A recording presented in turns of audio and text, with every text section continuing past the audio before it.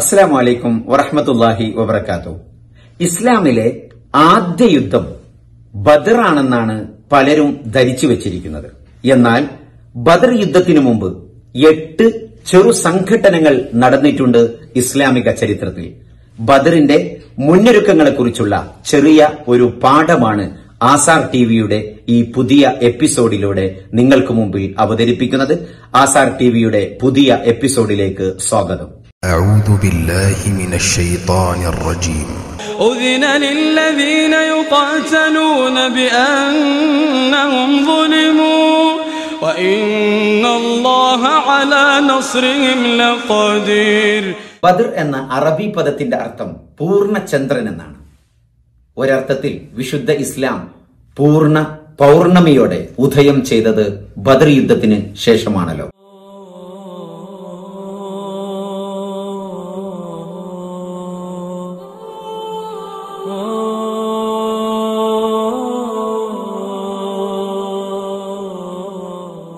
A D അറുന്നൂറ്റി ഇരുപത്തിനാല് March പതിമൂന്ന് അഥവാ ഹിജറ രണ്ടാം വർഷം റമലാൻ പതിനേഴിന്.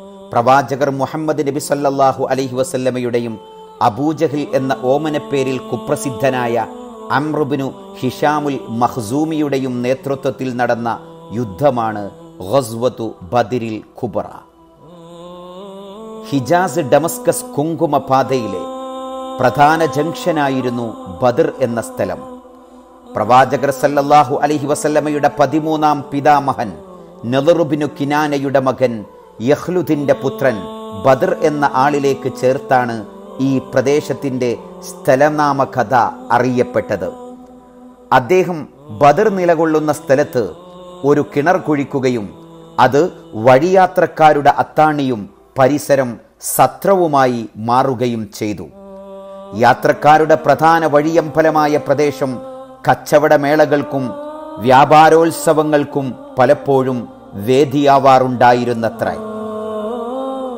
അങ്ങനെ മക്കയിൽ മുസ്ലിങ്ങളുടെ വിശ്വാസ സ്വാതന്ത്ര്യം നിഷേധിക്കുകയും സ്വത്തിനും സ്വത്വത്തിനും ഭീഷണി ഉയർന്നു വരികയും ചെയ്തിരുന്ന സാഹചര്യത്തിലാണ് നിലനിൽപ്പ് തേടി മദീനയിലേക്ക് പലായനം ചെയ്തത്.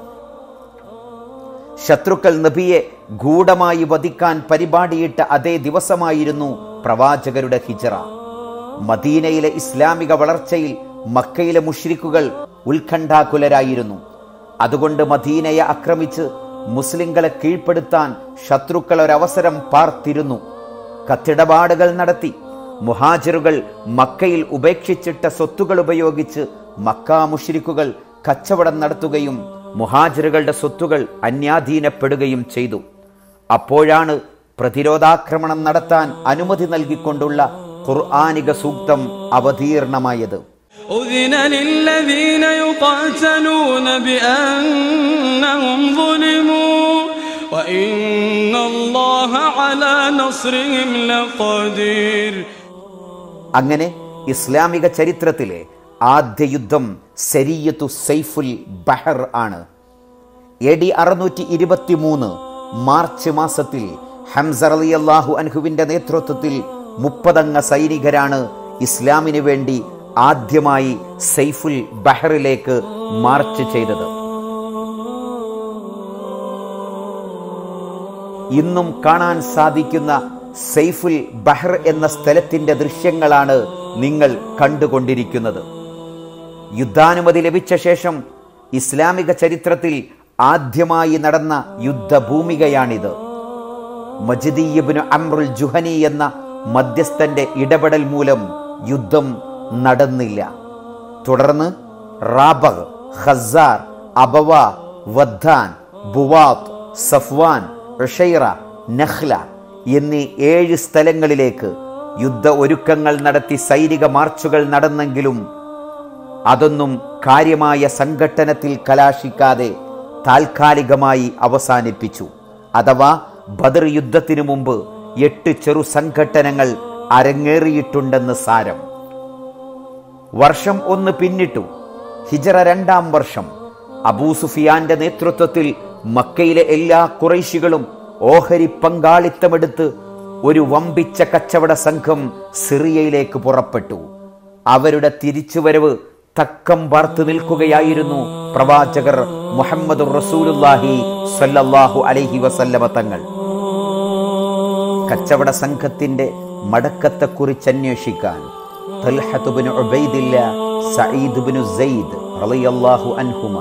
എന്നീ രണ്ട് സ്വഹാബികളെ പ്രവാചകർ നിയോഗിച്ചു. അവർ ഹൗറ എന്ന ജംഗ്ഷനിൽ തമ്പടിച്ചു.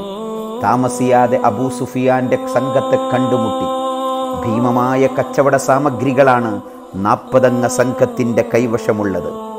ആയിരം ഒട്ടകപ്പുറത്തായി അൻപതിനായിരം സ്വർണ നാണയം വിലമതിക്കുന്ന സാമഗ്രികൾ. എല്ലാ വിവരവും മനസ്സിലാക്കി രണ്ട് സഹാബികളും മദീനയിൽ തിരിച്ചെത്തി. ഇതൊരു സുവർണാവസരമാണ്. മക്കയിലെ തങ്ങളുടെ സമ്പത്ത് മുഴുവനും നഷ്ടമായതിൽ കാലങ്ങളോളം വേദനിക്കുന്ന സഹാബത്തിനോട് പ്രവാചകർ സല്ലല്ലാഹു അലഹി വസല്ലം പറഞ്ഞു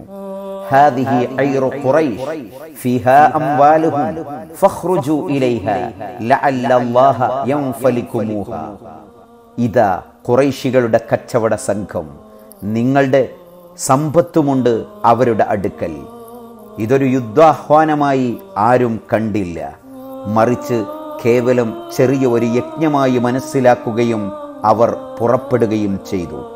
എൺപത്തിരണ്ട് മുഹാജിറുകൾ അറുപത്തി ഒന്ന് ഔസ് ഗോത്രക്കാർ നൂറ്റി എഴുപത് ഹസറജുകാർ എല്ലാവരും ബദറിന്റെ വഴിയിലേക്ക് നീങ്ങുന്നു.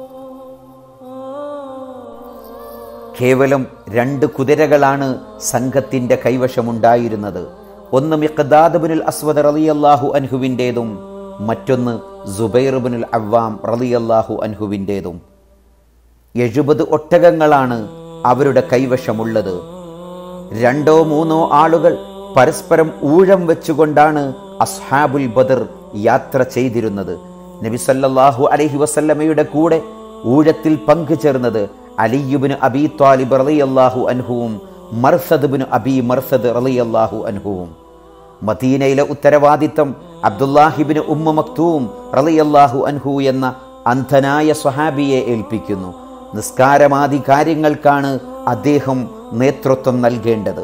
അങ്ങനെ മുന്നൂറ്റി പതിമൂന്നംഗ സംഘം റൗഹായിലെത്തിയപ്പോൾ അബൂ ലുബാബ റളിയല്ലാഹു അൻഹുവിനെ മദീന ഗവർണറാക്കി നിശ്ചയിക്കുന്നു. ജനറൽ കമാൻഡറായി മിസ് അബുബിൻ ഉമേർ അള്ളാഹു അൻഹുവിനെ ഏൽപ്പിക്കുകയും വെള്ളപ്പതാക അദ്ദേഹത്തിന്റെ കയ്യിൽ ഏൽപ്പിക്കുകയും ചെയ്യുന്നു. മുഹാജിറുകളുടെ ബറ്റാലിയൻ അൻസാറുകളുടെ ബറ്റാലിയൻ എന്നിങ്ങനെ രണ്ടായി തരം തിരിക്കുന്നു. മുഹാജിറുകളുടെ നേതാവായി അലിയുബിന് അബി ത്വാലിബ് അള്ളാഹു അൻഹുവിനെ നിശ്ചയിക്കുകയും അദ്ദേഹത്തിന്റെ കൈവശം റഖാബ് എന്ന പതാക നൽകുകയും ചെയ്യുന്നു. അൻസാറുകളുടെ നേതാവ് സഅദ്ബിന് മുആദ് റളിയല്ലാഹു അൻഹു ആണ്. മറ്റൊരു കറുത്ത പതാക അദ്ദേഹത്തിന്റെ കൈവശവും നൽകി. തുടർന്ന് വലത് ഭാഗത്തിന്റെ നേതാവായി സുബൈർബിനുൽ അവ്വാം റളിയല്ലാഹു അൻഹുവിനെയും ഇടതുവശത്തിന്റെ നേതാവായി മിഖദാദ് റളിയല്ലാഹു അൻഹുവിനെയും നബി സല്ലല്ലാഹു അലൈഹി വസല്ലമ നിശ്ചയിക്കുന്നു. പിൻനിരയിൽ കൈസുബിനു അബി സഅസഅ റളിയല്ലാഹു അൻഹുവിനെ നിയോഗിച്ച് പൊതു നേതൃത്വം പ്രവാചകർ സല്ലല്ലാഹു അലഹി വസല്ലമ തങ്ങൾ ഏറ്റെടുക്കുന്നു. കൂടുതൽ മുന്നൊരുക്കങ്ങളൊന്നുമില്ലാതെ റൗഹ എന്ന സ്ഥലം വരെ മക്കയിലേക്കുള്ള പ്രധാന പാതയിലൂടെ അവർ സഞ്ചരിക്കുന്നു. തുടർന്നൽപ്പം വലത്തോട്ട് തെറ്റി ബദർ ലക്ഷ്യമാക്കി നീങ്ങുകയും റൊഹ്ഖാൻ വഴി സൊഫ്ര എന്ന സ്ഥലത്തെത്തുകയും ചെയ്തു. അവിടെ വെച്ച് ബസ്ബസ്ബിന് അമ്രുൽ ജുഹനി അദിയുൽ ജുഹനി റളിയല്ലാഹു അൻഹുമ എന്നീ രണ്ട് സ്വഹാബികളെ ചാരന്മാരായി ബദറിലേക്ക് നിയോഗിക്കുന്നു. കുറൈശികളുടെ കച്ചവട സംഘമാവട്ടെ അവർ ഏറെ ഭീതിയോടെയാണ് സഞ്ചരിച്ചു കൊണ്ടിരിക്കുന്നത് മക്കയിലേക്കുള്ള പാത അപകടം പതിഞ്ഞിരിക്കുന്നതാണെന്ന് അവർക്ക് കൃത്യമായ ബോധമുണ്ടായിരുന്നു.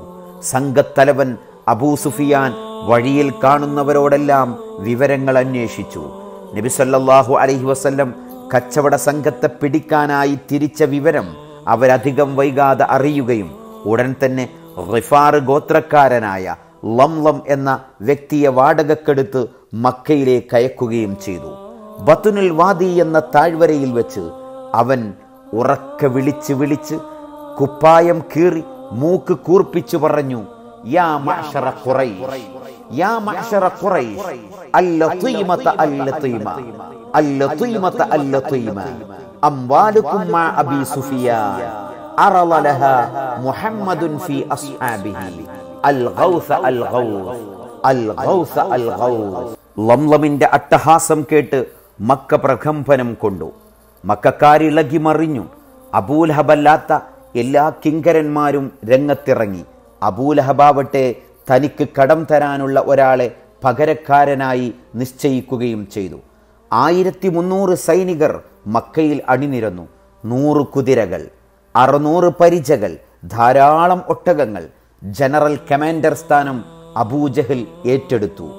ഫുഡ് സപ്ലൈസിന്റെ ഉത്തരവാദിത്തം കുറൈശി പ്രഭുകർ സ്വന്തമായി ഏറ്റെടുക്കുകയും ഓരോ ദിവസവും ഒമ്പതോ പത്തോ ഒട്ടകങ്ങൾ അറുത്ത് സുഭിക്ഷമായി അവർ ഭുജിക്കുകയും ചെയ്തു.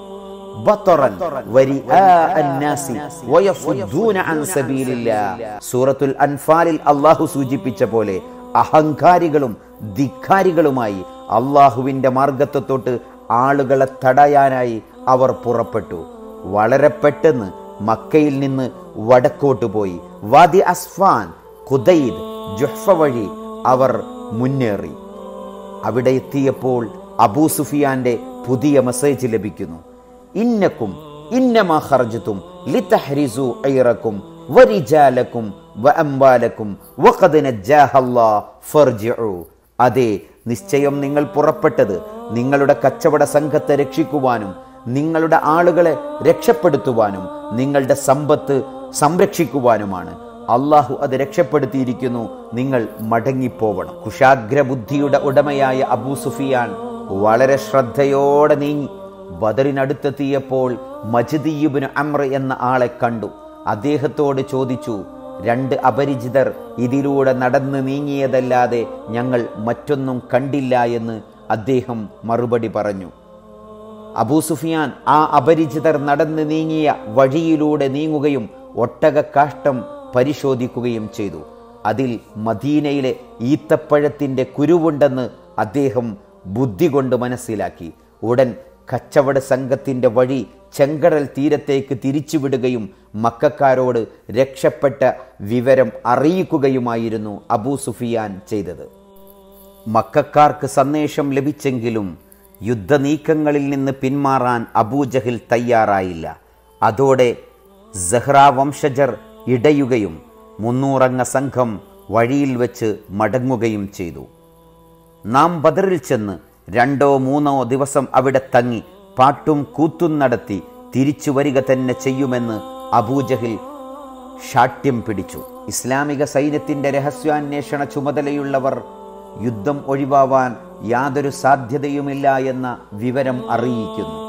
ഒരുപക്ഷെ മദീന വരെ ആക്രമിക്കുവാനുള്ള സാധ്യത മുന്നിൽ കാണുന്നു. ഈ ഗത്യന്തരമില്ലാത്ത വേളയിൽ സൈന്യത്തിന്റെ യോഗം വിളിക്കുന്നു പ്രവാചകർ സല്ലല്ലാഹു അലൈ വസല്ലം. സാധാരണക്കാരായ പട്ടാളക്കാരോട് അഭിപ്രായമാരായുന്നു. ഖുർആൻ വിഷയത്തിൽ ഇടപെടുന്നു.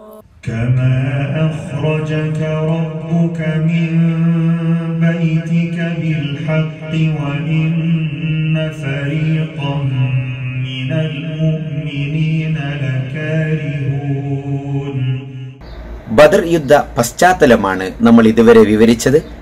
യുദ്ധത്തിന്റെ ബാക്കി ഭാഗം അടുത്ത എപ്പിസോഡുകളിൽ.